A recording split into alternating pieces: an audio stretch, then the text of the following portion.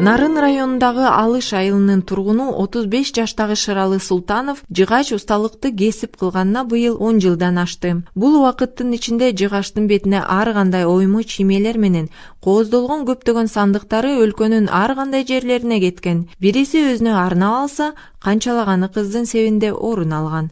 А бирок шыралы устаны мындай кесипке кырсыктан кийин ээ болду. Мындан жыйырма жыл мурун бактан жыгылып эки буту баспай калган. Ошентсе да шыралы өзүн майыпмын деп үйдө жатып албай устачылыкты атайын окуп үйрөнбөсө да бул кесипке болгон шык өздөштүрүүгө оңой болду дейт. Шыралы устанын устаканасына кабарчыбыз мирлан абдылдаев барып келген. карарган жерлер бул көптөгөн убакытты талап кылат да почти.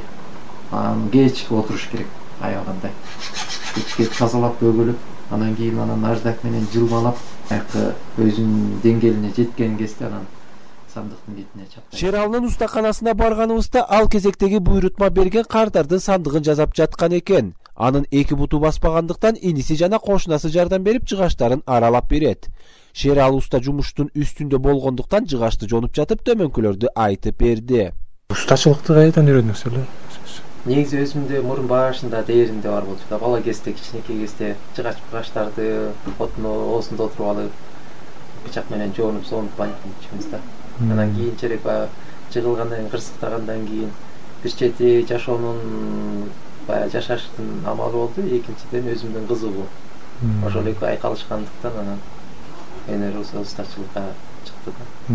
Негизи бабам өзүмдүн бабам ошо исмайыл бабабыз.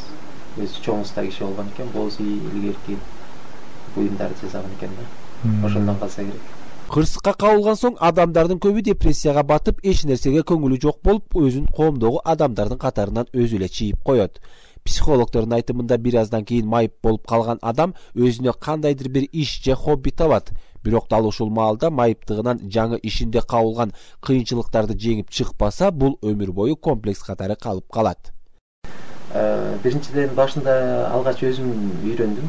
Аны эч кимден үйрөнгөн жокмун. Өзүм придумка кылып ойлонуп анан ошол шекилинде негизинде чыкты азыркы учурда кыйынчылык болбойт баардыгы баягы көнүп билип калдык да эч кандай мен өзүмдүн байкем жардам берет андан сырткары энем жардам берет анан бул кошуна бала бар шакиртим бар ошол бала ал дагы менин деңгээлимде жасап үйрөнүп калды да кыргызстанда майыптар эмгектенген бир нече цех бар ал жакта кийизден ар кандай оюнчуктар жасалып сатыкка чыгат мындай бизнестин эң негизгиси кардарларды табуу алгач базарга чыгып сатып анан шералынын сандыктары элге жагып он жылдын ичинде аты чыгып учурда сандыктарынын үйгө келип алып кетишип заказдарды жасоого жетишпей жаткан кези уста күзүндө таза кирешеси алтымыш жетимиш миң сомго чейин жеткенин баяндады.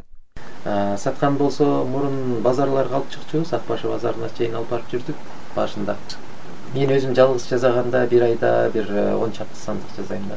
Эгер шакиртим менен жардамчым менен кошулуп жасасак бир он беш сандыкка чейин жасайбыз азыркы учурда анчейин эмес азыркы азыр айына бир бештей бештей эле кетет күзүндө мындан жетишпей калабыз ал эми шералынын апасы азыркы жетишкендиктерине өзү тырмышы батып жеткендигин белгилейт.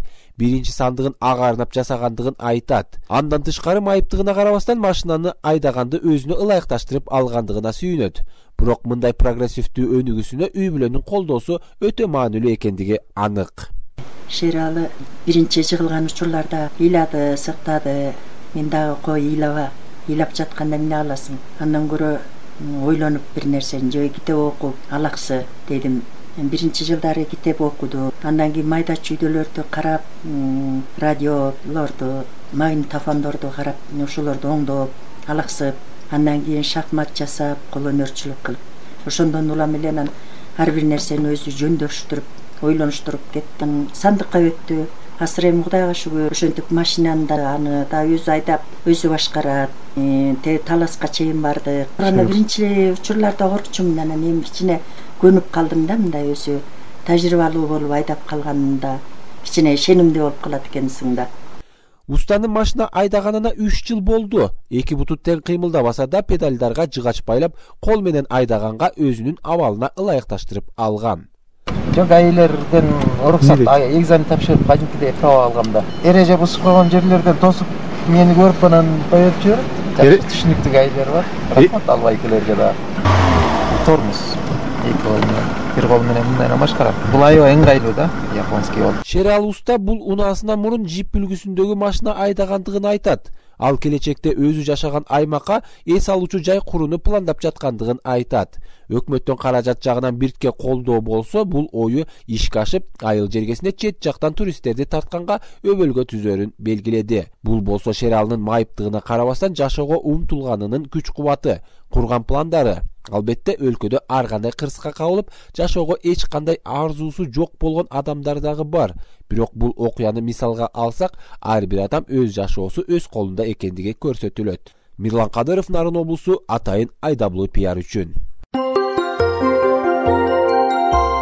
социалдык өнүктүрүү министрлигинин маалыматына ылайык. Кыргызстанда майып адамдардын саны жүз алтымыш миңден ашып анын жыйырма жети миңин балдар түзөт. Жогорку билим алуу мекемелеринде билим алуу же ылайыктуу жумуш табуу бул адамдардын негизги көйгөйү болуп калууда эмгек миграция жана жаштар министрлигинин изилдөөлөрүнө караганда иш берүүчүлөр мындай мүмкүнчүлүгү чектелген адамдарга жумуш ордун сунуштоого даяр эмес. Кошумча чыгашаларды талап кылгандыктан компаниялардын алтымыш беш пайызы мындай мүмкүнчүлүгү чектелген адамдарды жумушка алууга даяр эмес.